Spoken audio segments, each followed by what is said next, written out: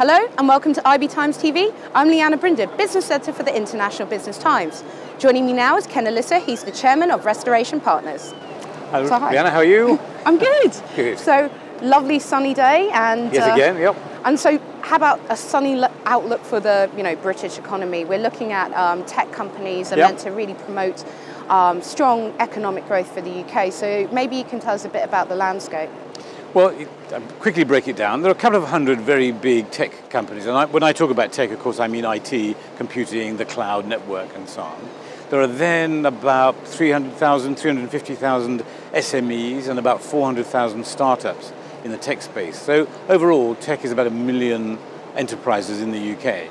And the great thing about tech, of course, is this is one of those exciting periods that we have on the, on the cycle and we're approaching a peak again, I think, because the combination of the cloud, of, of cyber security, and all the issues around that, which of course are terrible on the negative, but they're rather good for business because you've got to invent solutions to the, to the threats and so on. Plus, you've got the ubiquity of computers, RFID tags, QR codes, mobile phones, blah, blah, blah, billions of machines across the planet. The ability to use platforms like Facebook and so on to sell to anybody in the world We've never had it so good from an IT industry perspective, and with a million enterprises in the UK all beavering away trying to find the next holy grail, this is a pretty good time to be an entrepreneur in tech. Well, with that will naturally um, come challenges, and with how the bank uh, financing situation has been over the last yes. few years, it's been pretty tight. So, what kind of ways have um, tech companies from micro startups mm-hmm. yep. to SMEs look for alternative ways of financing? Well, you're quite right. You've just pricked my bubble there. so, there, there is one big problem, which is debt financing for, for smallish companies, but I'll come back to that in a second. There's a lot of capital about. We've got a rather good tax regime in the UK now, with EIS in particular, and SEIS for the very early stage companies. And that means if you're a personal investor, it's, it, I would argue, anyway, obviously I would, but I would argue it's more in your interest to put money through the EIS scheme into an early stage company where you've got a connection, where you know the founders, there's a bond of trust and you've got some confidence in them, than to bung it in an ISA or into an equity market stock at the moment. So the tax regime is really rather beneficial, and we've never had that before, so that's another rather positive point in the UK. AIM is, uh, is beginning to move again. I'm proud to say I'm chairman of Outsourcery. We just floated a couple of weeks ago on AIM. We got a very good valuation. We raised about 11 million pounds net, supported by Investec. Biggest IPO, tech IPO in the UK. There are others now coming to the market. So the, the equity market is at least showing signs of life. I don't overstate that, but it's showing signs of life. That must continue. But your bubble bursting point from earlier on is about debt financing, particularly from the banks. The most irritating thing is we, the taxpayer, have put billions into the funding for lending scheme into the banks, and almost none of it has got into SMEs. And of the little bit that has got to SMEs, I think none of it has gone to tech companies. And the reason is, of course, tech companies can't provide security.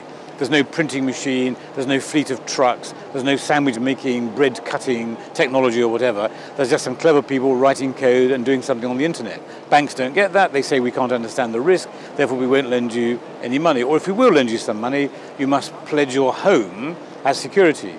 Now, anybody who's been an entrepreneur knows that the last thing you're going to do is go home to your husband or wife and say, I'm really sorry, darling, but uh, you know that really wizzo idea I had? It didn't quite work and we've now lost our house. It's, it's antithetical to the, the spirit of enterprise. So guess what? Nobody comes to banks to ask for any money because those who've gone already have told everybody else it's a waste of time. The banks, on the other hand, say there's no demand. Nonsense. There's tons of demand, pent up, but it's not wasting its time. It's got, it's got entrepreneurial businesses to run to go, not waste its time going to banks. There's another myth, though, in all of this, which is people say, ah, oh, yeah, but early stage companies, SMEs, they're risky, and therefore they should only get equity finance and they shouldn't get debt.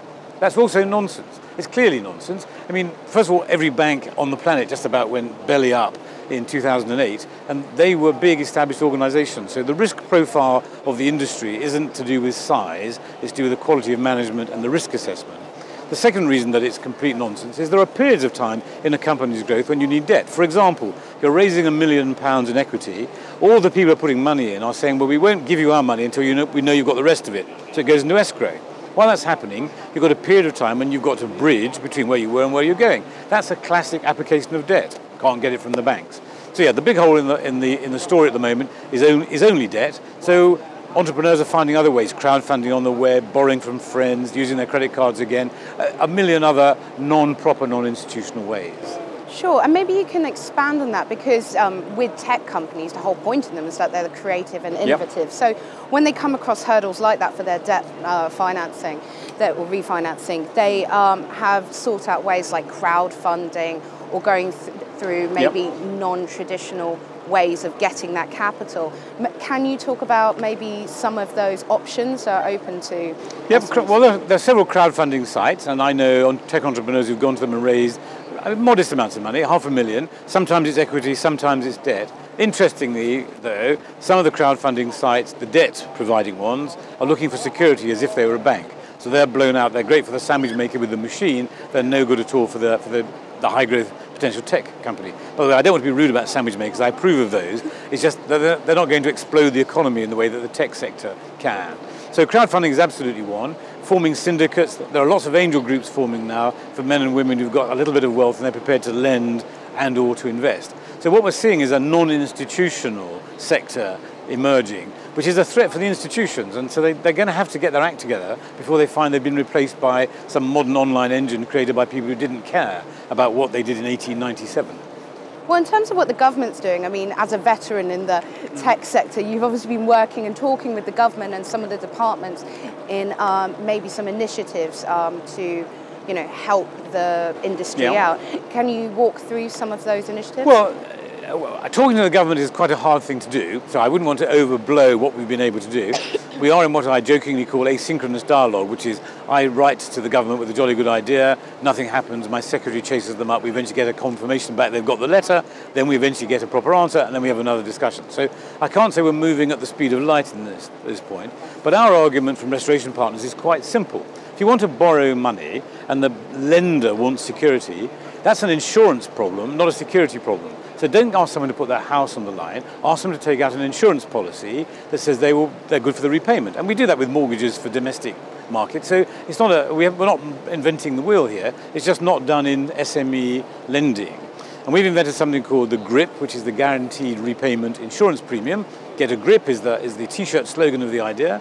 And the idea is that you borrow a million pounds from a lender, 15 a percent of that, 150,000, goes in as a premium into a pot which then underwrites everybody else's loans. We've calculated that you can lose half the loan book just about on a straight line basis over four years and still make a profit as the insurer. Meanwhile, the entrepreneurs have got their 850,000 net to invest or to use. We've tested that with our entrepreneurial clients who've said bring it on, so that wasn't really very difficult. We've talked to the government in my asynchronous way and we'll see what happens now before the, the summer recess. And we don't really need the government to do anything with it, except in the so-called uh, loan guarantee scheme that the government runs with banks, they guarantee 15% of the overall bank's portfolio and inter alia 75% of any particular loan. And we're saying, well, why don't you put your 15% into this same pot? So 15% premium, 15% government guarantee, you've now got a 30% pot to underwrite those loans. You can go much bigger, take more risk, and have less losses. So that's the nature of the debate. We'll, uh, I wouldn't hold your breath to hear the answer, but we won't give up until we've got a proper response. Well, you're clearly, you know, one of the key supporters in the UK of um, helping these companies out. But maybe to round off, we can talk about, you know, our future generation of tech companies and individuals.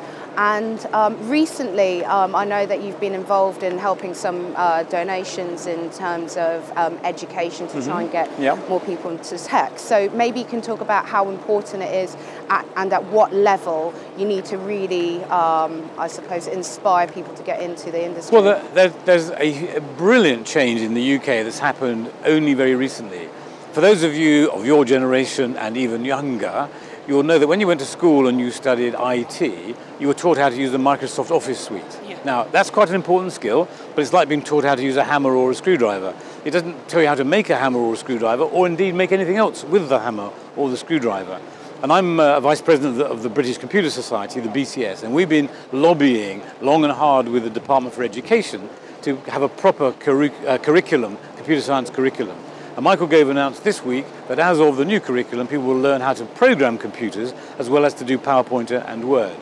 You need to do both. That will inspire, as I was inspired a million years ago, young people to create something technically using computers. And that, that's, we don't have that today. That's a, that's a fundamental change. So if we're doing quite well already, that's just going to be another fuel coming along behind.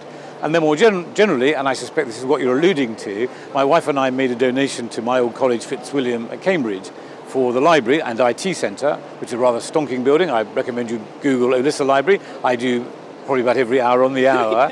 and that's, that's wonderful. And, and what that's doing is that's reminding young people of two things. One is, yes, you should study, and there's a great venue 24 7 to go study. But the second is, we're very lucky in this country about the, for the way that other people help each other. This whole concept, the crowdfunding, the networking, the support, and so on. And we've given back as a symbol to everybody else that they should also give back.